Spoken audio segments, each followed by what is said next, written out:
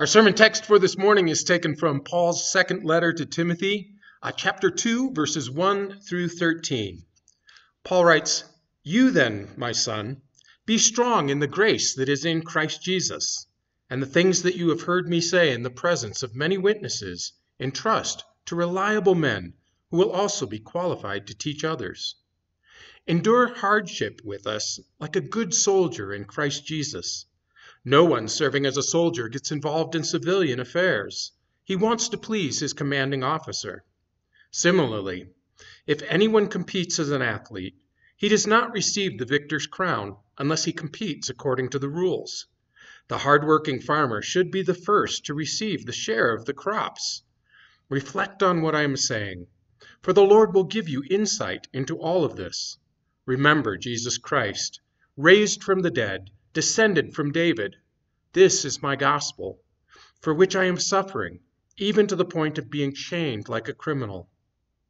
But God's word is not chained. Therefore I endure everything for the sake of the elect, that they too may obtain the salvation that is in Christ Jesus with eternal glory. Here is a trustworthy saying If we died with him, we will also live with him. If we endure, we will also reign with him. If we disown him, he will also disown us. If we are faithless, he will remain faithful, for he cannot disown himself. This is the end of our reading.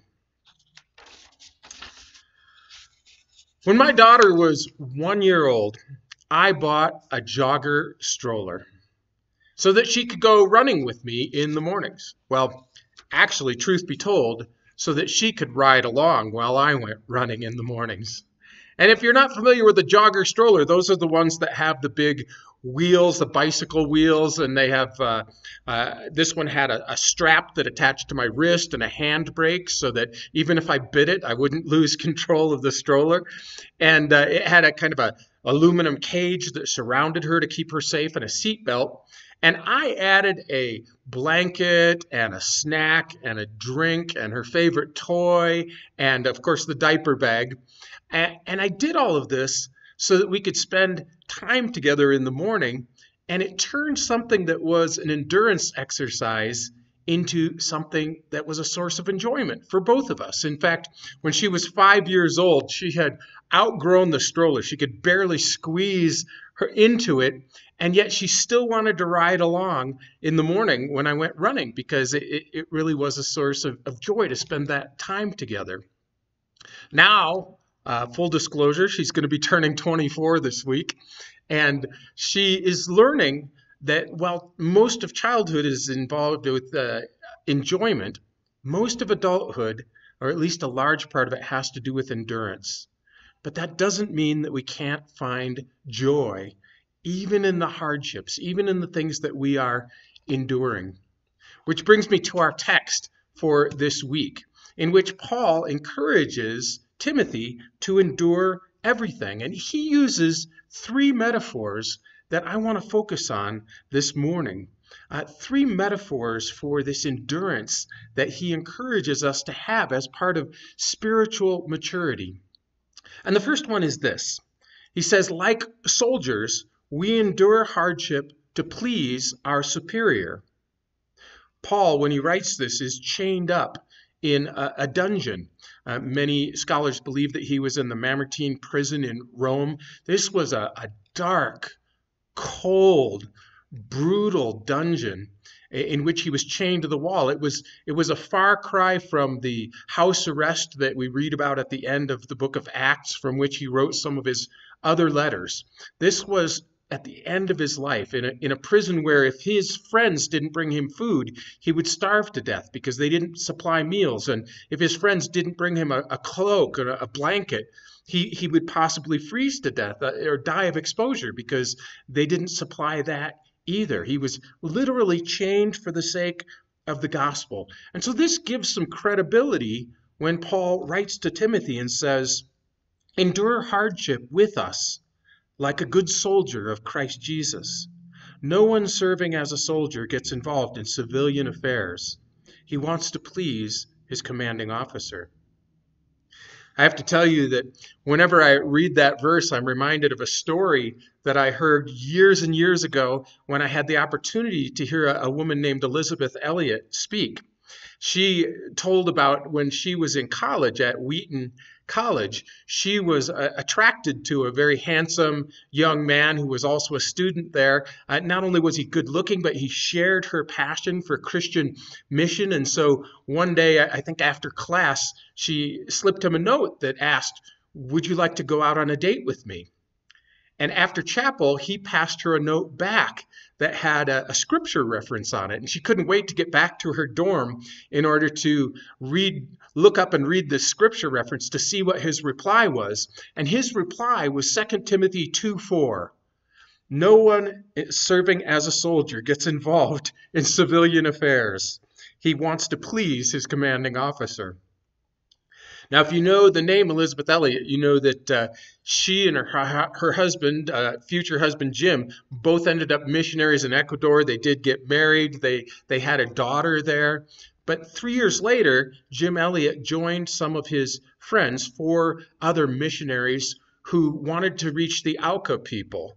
And so they flew a plane and landed on a riverbed to reach this, this reclusive, violent tribe that had not been reached with the Christian gospel. And they, they waited for the Auca to come to them. And sure enough, the Auca people came to them and speared them to death. And Elisabeth Elliot, the widow of Jim Elliot, uh, and another widow named Rachel Saint, they stayed in Ecuador. They did not return to the United States. They continued to work with the Quichua people with whom they were working and, uh, and keep their children there. And one day, uh, a woman came into their community who had actually lived with the Auca and spoke the Auca language. And she taught uh, Elisabeth and, and Rachel what she knew of the Auca language. And long story short, the widows of Steve, of Steve Saint and uh, Jim Elliot both went to live with the Auca people along with their children. They went to live with this tribe that had murdered their husbands, the fathers of their children, in order to spread the Christian gospel. And some years ago, when I was living in Portland, I got to hear the other side of this story from one of the Auca elders who had traveled to the United States in, in order to promote a film about this, these events. And he was speaking and telling us what a difference the Christian gospel made in his life and in the, the life of his tribe, that these people would come to him not seeking vengeance for the murder of their husbands and fathers, but rather to share the Christian gospel, the grace of Jesus Christ with them. And, and that this gospel had revolutionized his life. And now, this tribe that was known for its violence was known as a peacemaking tribe that, that would actually resolve disputes between other tribes. It, it just changed everything. And this Auca elder was one of those who had personally been involved in the murder of these missionaries, and yet his translator was Steve Saint, the son of one of those murdered missionaries who had grown up with this tribe. And it was incredibly moving. And it was a reminder of the power of the Christian gospel. And I mention that not because any of us are likely to have our spouses or parents murdered, uh, speared to death for the Christian gospel, but you and I are very likely at times to face hardships which we have no control over, which are not the will of God. It was not the will of God that these men should be murdered. It was not the will of God that Paul should be imprisoned. But we don't have a choice in, in those events many times. What we do have a choice in is how we respond. Whether we choose to seek vengeance because we've been hurt so badly, or to withdraw uh, to a place where we're more comfortable or whether we continue to seek the will of our superior, our commander, uh, of Jesus Christ, that we lean forward, that we share continually the gospel, not just with our words, but with our actions. We all face these decisions. And Paul urges Timothy and us to remember who it is that we serve. That we serve Jesus Christ, the one who intentionally came to earth in order to suffer, to, to live a perfect life in our place and offer himself as an offering, facing beating and crucifixion and humiliation and mockery out of love for us, so that our sins would be forgiven, so that we would be pardoned and reconciled to God. He went to the cross and died in order to break the power of death over us. And you and I, who call ourselves Jesus followers or Christians, you and I have this Christ as our Savior and also our Lord, the one who has a will for our lives, for how we respond to hardship. And, and so, like soldiers, we endure hardship to please our superior. The second image that Paul uses is this like athletes, we strive with integrity to win the victory. Paul goes on to say if anyone competes as an athlete, he does not receive the victor's crown unless he competes according to the rules. You know, and I read this this past week. I, I couldn't help think but think of Lance Armstrong, the American cyclist who won an amazing seven Tour de France bicycle race victories. And yet, following those victories, the evidence mounted and mounted that he had used uh, doping uh, that is, uh, drugs and, and, and techniques that were not allowed in order to complete these victories. And so his, his championships, his titles, his wins of the Tour de France were stripped of him, uh, as was his reputation. And this is what Paul is reminding Timothy and us of. The world encourages lying and cheating and even violence in order to accomplish our personal goals, whatever we want to do. But part of adulthood, spiritual adulthood included, is discovering that there are no shortcuts in the things that matter. In other words, you can use performance enhancing drugs to win a victory in sports, but you will eventually be found out and lose your title and reputation. You can practice fornication, as many people seem to believe now, and, and, that that will somehow improve your sex life. But the reality is, in the long term, it actually decreases your ability to have complete intimacy with your partner, with your spouse. It actually destroys, in many cases, your chance for forming a stable family, for having successful parenting.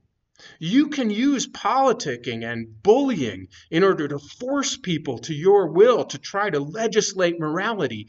But in the end, those things will poison your soul and they will alienate people from Christianity.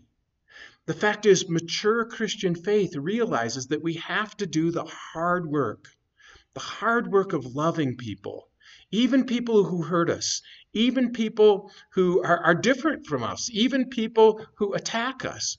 We have to do the hard work of loving them in order to demonstrate the gospel of Jesus Christ to them.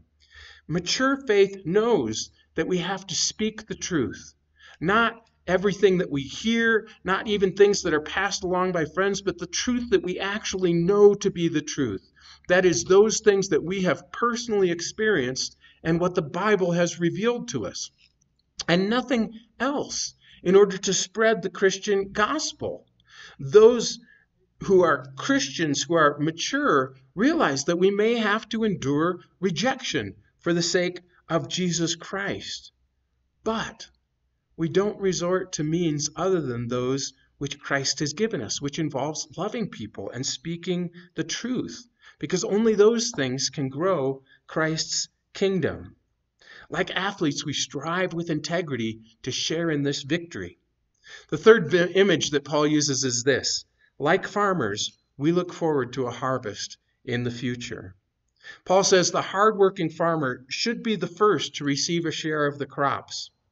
This passage, I think, is often misunderstood, and I think I originally misunderstood it to mean if you do good and work hard, you will have material blessings in this life. But look at the context. Look at how Paul follows this up. He says, I endure everything for the sake of the elect, a word he uses to mean those who have come to believe in Jesus. I endure everything for the sake of the elect, that they too may obtain the salvation that's in Jesus Christ. In other words, what's this harvest that the Bible consistently talks about? It's not material possessions, it is God's gathering in the souls of those who have come to trust in Him, who have been redeemed and reconciled with Him. This is consistently what the Bible uses the term harvest for. And it consistently tells us that the seed is God's word, the message of salvation that God has given to us, what He has revealed to us. And, and this seed is germinated by the Holy Spirit of God that creates faith. And you and I, we are the farmers. We're the farmers. We're the ones who are called to spread that seed, to spread that word. My older brother was a farmer for almost a decade in central Washington, dryland wheat.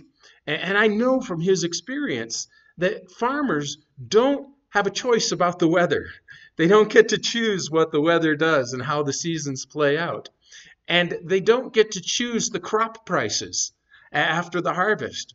But what they do get to decide is how much seed to spread and when to plant it and how to nurture that seed and how to harvest that seed. And this is the image that Jesus uses of Christians growing his kingdom. That is to say, that we have to have great trust in this cooperative effort with God because there are so many things we can't control. We can't force people to accept Christ as their Savior. But what we can do is spread the word. We can plant the seed. We can pray for the Holy Spirit to germinate that seed. And sometimes we get the opportunity to be involved in the harvest. That is, we get the opportunity to bring people to the point where, where they trust Christ, where they are baptized into his family, where, where they've reached this point. And, and it's a great joy that we get to share in that, that we get uh, uh, to be among the first to experience that harvest. I uh, have uh, twice now in my life bought houses that were pretty much unlandscaped and I have planted gardens that is fruit trees and berry bushes and various other fruiting plants that I then sold the house to someone else when these gardens were maturing. And, and, the last time I did this was a house I had in Coeur d'Alene. Uh, among the plants that I planted were a, a grapevine that I nurtured for a decade, never produced grapes until a week before I moved out. I uh, had sold the house and I went outside in the backyard and noticed that on the grapevine were these clusters of beautiful grapes. And I tasted one and, and they were sweet and delicious. And I thought, what a blessing for this family that has bought this house. A, a nice couple with their children. They're really going to enjoy this garden that I planted for them. But you know, this is sometimes the way that it is. We have the opportunity to plant seeds and we never see the harvest. We never get to enjoy the fruit of that labor, but it's still a joy because you and I are passing on to future generations the good news of, of Jesus Christ. We're passing on to future generations the, the joy of having a relationship with God and, and, and being in a vibrant, living church as, as what's called the bride of Christ. And this is the joy that causes us to endure to endure when, when there are hardships, when there are conflicts within the church and, and outside of the church. There's joy in working cooperatively with God in growing his kingdom and looking forward to this harvest when Jesus comes back. And this is how faith endures when we're the ones doing the running and pushing the, the stroller, not the ones riding in it. When we mature in our faith we focus on Jesus, the one who endured the cross for us. In fact, one of my favorite passages is Hebrews 12:2, where, where the author says, Focus uh, on Jesus. Fix your eyes on Jesus, the author and perfecter of our faith, who, for the joy set before him, endured the cross. And I think there was no joy in being crucified. This was a horrific death.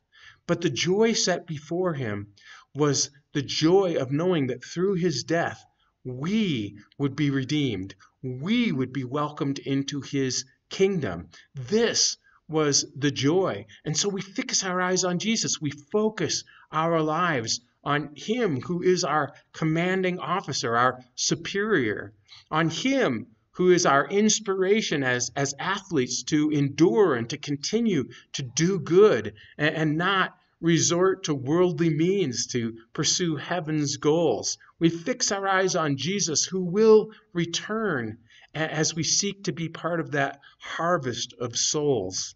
In Jesus' name, amen.